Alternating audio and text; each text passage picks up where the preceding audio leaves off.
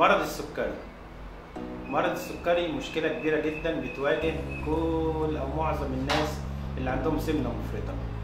مين يعمل تكميم وعنده سكر ومين يعمل تحويل مسار القاعدة العريضة الناس اللي ما عداش على السكر خمس سنين دول يعملوا أفضل يعملوا تكميم معدة.